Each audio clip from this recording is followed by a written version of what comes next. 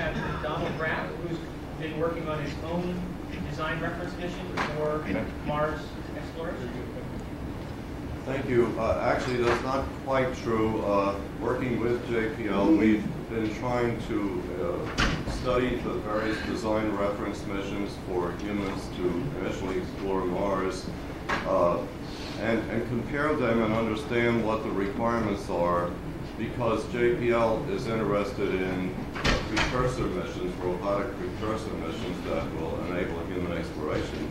By the way, I'd like to point out, relevant to the previous talk, that yesterday afternoon I gave a talk called Water on Mars, and uh, uh, I believe, and I believe there's uh, plenty of evidence that there's lots of water on Mars. I'm doubtful that there's any need for recycling on Mars.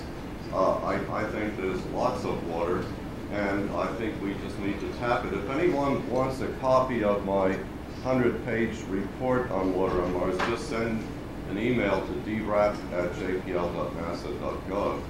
Uh, but anyway, going on to this talk, next slide, please. Uh, we looked at five design reference missions. Three of them were de developed by JSC, so-called DRM-1, DRM-3, and the so-called dual landers. There's Mars Direct, uh, developed by Bob Zubrin and company, and there's a Mars Society design reference mission led by Jim Burke. And, and we reviewed these and compared these. Next slide.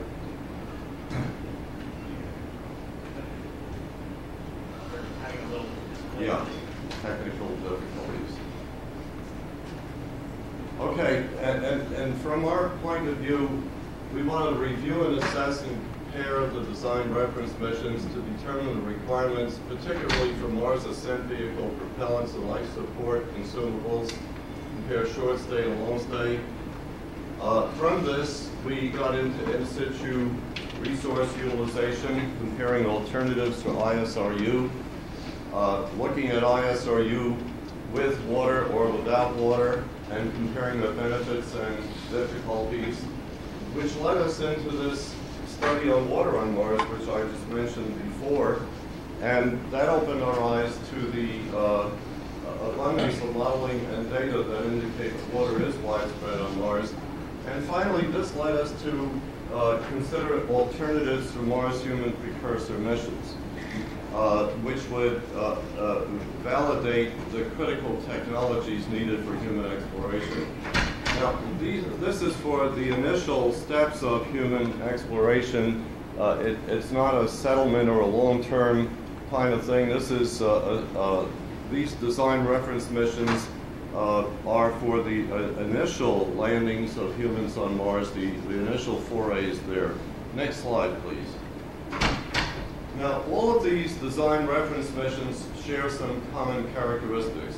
A cargo vehicle, or more likely vehicles, will deliver cargo to the surface at one launch opportunity, and they will deliver an infrastructure including a power system, a nuclear power system, a Mars ascent vehicle, typically with empty tanks, and an ISRU system that will, over a period of many hundreds of days, fill up the tanks on the ascent vehicle. Uh, at a second opportunity, some 26 months later, a crew vehicle delivers the crew. And after some five or 600 days on Mars, the crew boards the capsule atop the Mars ascent vehicle and ascends. Uh, all the DRMs uh, envisage multiple landings at the same site and uh, gradually building infrastructure and providing redundancy for safety. The main difference between the design reference missions lies in the return to Earth. The JSC DRMs involve the ascent vehicle rendezvousing with an Earth return vehicle in Mars orbit, whereas the Mars Direct and the Mars Society mission, the Mars ascent vehicle goes all the way back to Earth. Next view graph. Now, on a long stay versus short stay, this is this is kind of a complicated subject and it's difficult to explain in one slide, but basically what it has to do with is that the Earth is going around the sun much more rapidly than Mars is. So a low energy trajectory from the Earth to Mars so-called Hohmann trajectory, the Earth is lagging Mars, and the trajectory is, is a nine-month trajectory to Mars, during which time the Earth goes around the Sun. Now you're on Mars, and if you want to return to the Earth, you have to wait for the Earth to come around. Bottom line is that for a low energy trajectory, it takes you nine months to get to Mars, nine months to get back, and you spend about 450 days on Mars. So the whole thing is 2.7 years. The alternative is, is, to, is to have a very high speed transfer from Earth to Mars using a lot of propellant and then stay on Mars a very short time so the Earth hasn't moved away. So you just go up and down. And in that short stay, you may spend maybe 20 days on Mars, but the propulsive requirements are much, much higher. Uh, in the short stay, you actually spend more time, twice as much time, 600 days in a zero-G environment. Although the NN mission is shorter, you spend a lot more time in the zero-G environment, and on the return, you have to swing by Venus, uh, and the thermal and radiation problems become very severe. Uh, to quote Bob Zubrin, there are three possible reasons to select a short stay. If you want to develop an exotic propulsion system, you don't understand the problem, or you want to kill the program. Next view graph. Uh, typical cargo vehicles in the JSC DRMs, the mass in low Earth orbit, and they used a nuclear thermal rocket for trans-Mars injection. And in DRM-1, they had a cargo vehicle that weighed 206 metric, metric tons. DRM-3 reduced that to 135. The launch vehicle in this case was a 240 metric ton to low Earth orbit Behemoth. The uh, DRM-3 used an 80 metric ton launch vehicle, but they doubled them up with low Earth orbit assembly. Next view graph. Uh, the big problem you have in getting stuff to Mars, and this is the big challenge in these missions, is that if you start out with a thousand kilograms of launch vehicle on the surface of the Earth, you can optimistically put 60 kilograms in low Earth orbit.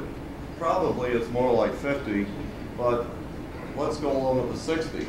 Of the 60 kilograms in low Earth orbit, 38 kilograms are used for trans-Mars injection, and 22 kilograms is actually injected toward Mars. Of the 22 kilograms that arrives near Mars, uh, approximately 10 kilograms are used for entry, descent, and landing, and about 12 kilograms of landed on Mars. So the 5 to 1 rule is that using liquid oxygen and hydrogen propulsion, you need 60 kilograms to land 12, or you have a 5 to 1 ratio. Now, with a nuclear thermal rocket, the 5 to 1 ratio can be reduced, provided, provided that you can deal with all the problems of the nuclear thermal rocket and you're allowed to fire it up in low Earth orbit. If you have to fire it up from a high orbit, most of the gains disappear. So, uh, this is the big problem. When you look at the masses on Mars that are required for these design reference missions and then multiply them by five or, or by 85 to get to low Earth orbit or the surface of the Earth, you, you find that the requirements on launch vehicle become very large. Next view graph. Uh, as I mentioned before, the nuclear thermal rocket has the potential to reduce the 5 to 1 ratio, uh, actually to about 3.7 to 1. The reason why it doesn't cut it in half is, is because of the uh, mass of the uh, nuclear power system. Uh, the Mars Society rejected nuclear thermal rocket because of the massive hydrogen tank and the problem of whether you can fire it up in low Earth orbit. The dual landers uh, approach of JSC use solar electric propulsion to raise the orbit of the vehicles and then uh, use trans-Mars injection from high Earth orbit. And this reduces the 5 to 1 ratio to about 2.9 to 1. The problem is you have this very slow ascent spiraling out. And uh, it assumes that you have a non-existent, very efficient thin film, lightweight solar array, and the amount of xenon that's required for the solar electric propulsion uh, doesn't seem to be available. Uh, and it also requires a, another vehicle to speedily transport the crew to high Earth orbit. So there are difficulties with these advanced propulsion concepts. Question. Do they consider using slush hydrogen? I don't think so, but I, the, the point I would make is that both of these approaches certainly need a lot more study. I wouldn't out of hand reject them, I'm just saying that they have difficulties. Next view graph. Uh, the way you carry out these missions is you launch to low Earth orbit, trans-Mars injection, land on Mars, ground operations, uh, ascent to Mars orbit, back to low Earth orbit, and entry at Earth. If you look at the requirements on Mars and work backwards, what you find is, as I pointed out, five times the landed mass in Earth orbit, 85 times the landed mass uh, on the ground at Earth launch. Now the point is that you- you've got to have some concept of, of what the capability of the launch vehicle is. The Saturn V could put about 120 metric tons into low Earth orbit, and with a 5 to 1 ratio, that would say the biggest payload that you could land on Mars would be 24 metric tons. And even that would be a challenge because when I speak to the entry, descent, and landing experts at JPL, uh, they shake their heads at that. Now, if you could put 150 metric tons in low Earth orbit, then I guess you could land 30 tons. But the point is, there are limitations uh, that are dictated by the launch vehicle. Next view graph. Uh, the different uh, DRMs have used different launch vehicles. Uh, DRM-1 from JSC hypothesized the 240 metric ton. Uh, DRM-3 doubled up launches with an 80 metric ton vehicle. And, and, and Mars Direct and Mars Society are in the Saturn range. The bottom line on all this is that there are limits to what you can land on Mars, and the launch vehicles for human missions come in three sizes like olives, large, giant, and jumbo. And, and, and, and this, this has to be part of the picture of designing these missions. Uh, there are a lot of alternatives, uh, the size of the launch vehicle, whether you're going to use in-space assembly, uh, what you can fit behind the aeroshell, what you can land on Mars. Uh, you may need parachutes that are bigger than a Rose Bowl, and uh, so on and so forth. So a lot of this needs a great deal more study. Next view graph.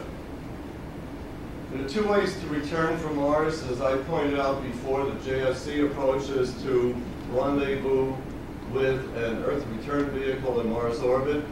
And ISRU would be necessary if the cargo the mass that you land is greater than what's capable from the launch vehicle, one-fifth of what you can put into low, Earth orbit. The first two DRMs from JSC required ISRU. Later on, uh, they came up with an approach which they thought could avoid ISRU, but I, I have doubts about that. The Mars Direct and Mars Society mission return all the way to Earth from the Mars surface, and because of that, the capsule atop the ascent vehicle has to be a lot more capable to go all the way back to Earth. And so they require propellants more than 100 metric tons in the ascent vehicle. There's no way you can launch that and deliver it in any economic way. So in these cases, ISRU is clearly important, uh, in fact, uh, enabling. So my conclusion is it doesn't seem to be any way to carry out a human mission to Mars without a big launch vehicle and almost surely ISRU. Next view. Uh, consumables, we looked at the consumable requirements of all the design reference missions and we kind of averaged them out. And what we concluded was that for a crew of six and a long stay of 600 days, the requirements for consumables are about 127 metric tons. And most of that is water, although some of it is breathing gas, and a little bit is food and waste disposal capabilities. We believe that, that all of this water and breathing gas can be made by ISRU if water can be mined on Mars, and I believe that can be done. Uh, the, the, uh, the question of whether and how much you can recycle is uncertain. Uh, one, one approach for recycling would recycle with various percentages and a certain amount of backup and a mass of a recycling plant. So even with recycling, you still need quite a bit of mass. Of course, if you could get the recycling up to 98, 99%, I guess uh, that would be significantly reduced. But with water-based ISRU, there'd be no need for recycling. And uh, What's ISRU? I'm sorry, in situ resource. Utilization, in which you take the water that you mine out of the ground and combine that with the carbon dioxide from the atmosphere, and you make uh, methane and oxygen for propellants and use the water directly for uh, uh, life support. So the, the point is that that that the consumable requirement is very, very high, and you either go one route of heavy recycling, or you can utilize Mars water and avoid the need for recycling altogether. Next view graph. Uh, I just have a few comments to make about this table. It's kind of an eye chart, but the trans-Mars injection propellant, the different DRMs, nuclear thermal rocket, nuclear thermal rocket, hydrogen, oxygen. Do you use orbit raising with solar electric propulsion? Yes, for dual landers. Uh, do you use on-orbit assembly? Uh, the landed payload mass, uh, they're all large masses here. And uh, the, the ratio of low Earth orbit mass to Mars surface mass, 4.7, 5.3. You remember the rule of five, they, the different estimates bounce around, but they average out to about five. Next view graph. And the Mars to Earth return, the critical factor is the mass of the capsule that's lifted up from the surface of Mars. DRM-1, they used a 3.1 metric ton capsule for the crew. DRM-3 came along and raised it to 5.3. Well, you need uh, about eight times that mass, the capsule mass, in propellant. So uh, initially, JSC estimated 26 metric tons of propellant for the ascent vehicle. Later, they revised it up to 39. For the direct missions back to Earth, the propellant requirements are more like 100 metric tons. And uh, you can see that the uh, propellant mass for the ascent vehicle is a, is a critical driver in these missions. Next view graph, please. So the two largest masses needed on Mars are propellants for the ascent vehicle and consumables for life support. And uh, uh, both of these can be extensively provided by water-based ISRU. How did I fix the time? was just about to say, yeah, about five minutes. Okay, next view graph. Uh, now, how much regolith must be excavated in order to provide this amount of water? Well, you need about 130 metric tons of water per crew, and all of these reference missions have a sequence of three landings of three successive crews at the same location, gradually building up infrastructure. So if you're going to land at one area, you have to mine three times 130, roughly 400 metric tons of water. Now, if you went to a high latitude where the water content of the upper one meter of regolith is about 35%, then it would take an area smaller than a baseball diamond excavated down to one meter. And this would have to be excavated over a period of about eight to 10 years. So it, it's, it's not a, it's not a major excavation problem. You have a long time to excavate something smaller than a baseball diamond down to one meter. In an equatorial area where the water content is only 10%, now the area is somewhat bigger than a baseball diamond, not a lot. And uh, again, you have many years to do the excavation. Uh, next view graph. Uh, the bottom line is that we need new design reference mission studies. We need to expand the trade space, compare alternatives. All the previous designs were point designs uh, for one approach. We need to compare alternatives, and see what the benefits and difficulties are.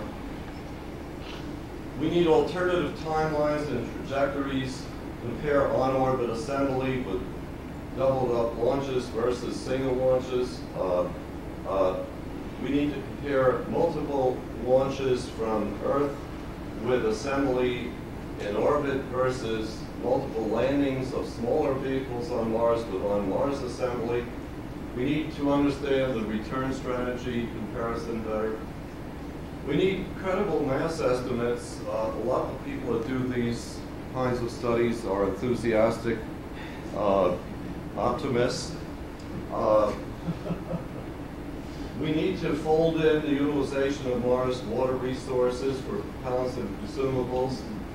Uh, make realistic appraisals of exotic propulsion options and determine uh, both their pros and their cons. Uh, study requirements for robotic deployment of assets of the cargo before the crew ever arrives. Uh, all of these uh, assume that you will land a nuclear power system and move it uh, a kilometer or so away, uh, and then lay out power cables to the site, and exactly how they would do that, nobody knows.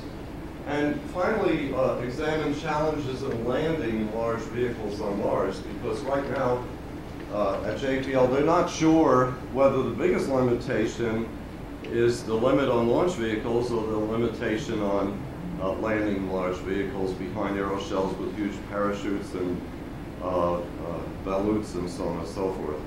So uh, we're hoping that NASA will go ahead and uh, fund this kind of study uh, across NASA, probably led by JSC, and that will clarify the picture better. Thank you.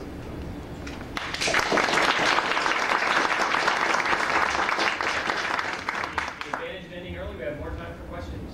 Can you give us an idea of what percentage of the total mission masses um, are represented in what you need in order to bring crew back to Earth?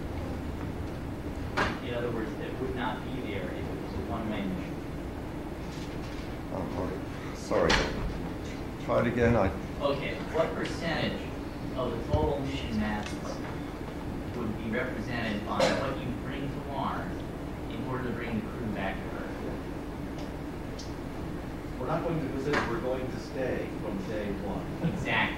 We're And invading so, instead. Okay. instead of that, instead of that, all that mass, which is required to generate fuel and the ascent vehicle and the return vehicle, I want to send cargo to build a settlement. well, I, I think the only thing that you're bringing there to return is the ascent vehicle, and that's empty because you fill it up with propellants made by ISRU.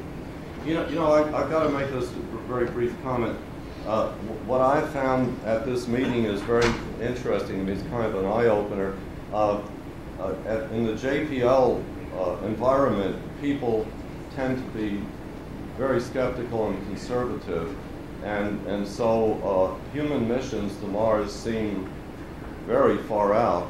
And what I find is that most of the people at this meeting are far more futuristic than, than this stuff, which is just an, an initial landing on Mars. You're thinking of outposts and settlements, and you know. I'm so thinking of settlements from day one. Yeah. Why do we need to do uh, this well, first? well, the fact of the matter is that relatively little of it is concerned with bringing people back. Well, I would tend to disagree with you, because the whole ISRU.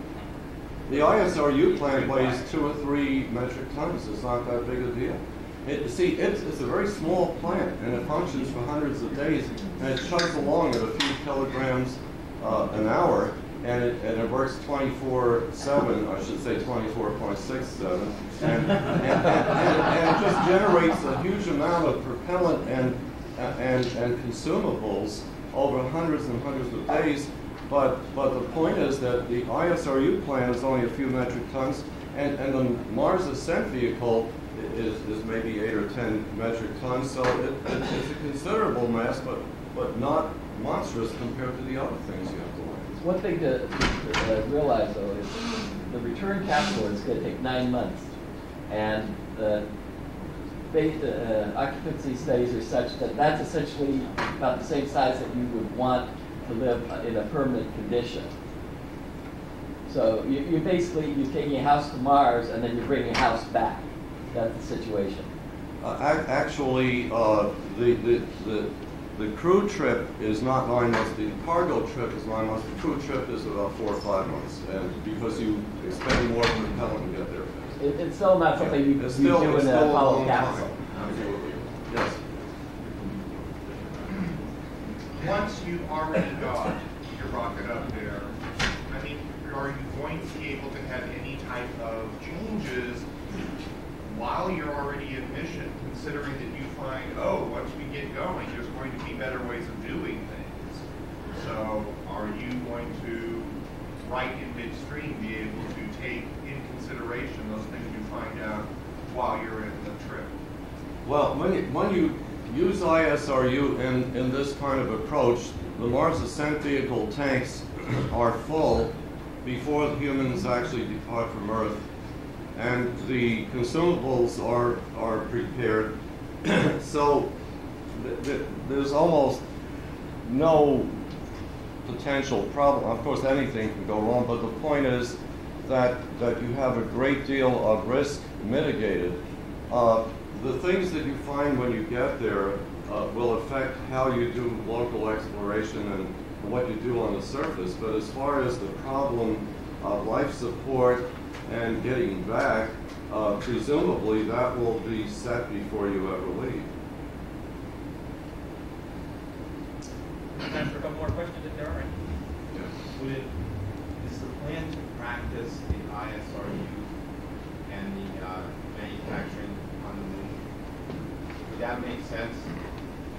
ISRU on the Takes a moon. less to yeah. lift things. Well, unfortunately, the ISRU on the moon is, is quite a bit different than it is on Mars, but there is some overlap, and I would think of them as two circles that partly overlap. There are things that you can learn from operating on the moon with remote uh, operations, storage of cryogenic propellants, and so on, but the fundamental chemical processes are probably going to be different. Now, in the moon, it'll depend to a great extent upon whether you go polar and can find water, or, or whether you go equatorial and just uh, get oxygen out of the regolith. But either way, the chemistry is going to be somewhat different. But I was thinking that some of the robotics that you did in assembly, and if you did go to a polar site, you could learn a little bit about taking water out of the soil. And, and, and a lot about mining regolith, although uh, the regoliths may be quite different. So uh, these are things that, that we need to learn, but hopefully we can learn things from it. Yeah. All right, time for one more question. Somebody has a quick one? If not, thank you. Thank you.